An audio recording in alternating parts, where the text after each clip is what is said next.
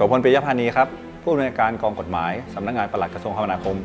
ตอนนี้ผมมีหน้าที่ในการดูแลพวกกฎหมายเกี่ยวกับการขนส่งทางบก ทางน้ำและทางรางและทางอากาศของกระทรวงคมนาคมครับ ใจเขาใจเราแบบมืออาชีพนะฮะก็คือเราปฏิบัติกับเขาเหมือนอย่างที่เขาต้องการให้เราทำด้วยนะครับด้วยความเป็นมืออาชีพ นั่นหมายความว่า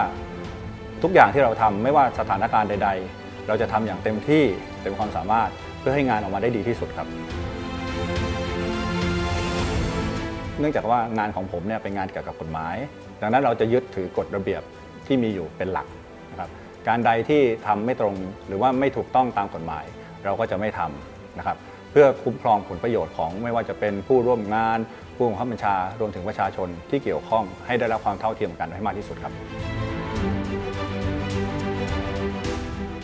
เนื่องจากว่าพระองค์ท่านเป็นแนวทางเป็นแบบอย่างที่ดีนะครับในการปฏิบัติตัว หมายถึงว่าปฏิบัติพระราชกรณียกิจต่างๆนะครับ ผมก็จะพยายามน้อมนำเอาสิ่งที่ท่านได้ปฏิบัติพระราชกรณียกิจเหล่านั้นเนี่ยมาดำเนินการหรือมาปรับใช้กับอองค์กรของกระผมนะครับให้เกิดให้งานประสบความสำเร็จมากที่สุดเท่าที่จะทำได้นะครับ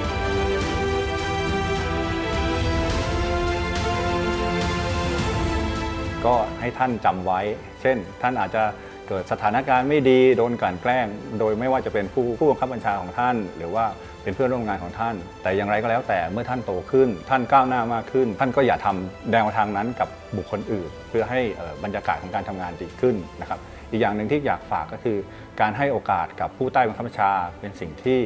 ผู้ใต้บังคับบัญชาทุกคนต้องการครับ เราลองให้โอกาสเขาเราอาจจะได้สิ่งดีๆกลับมาครับ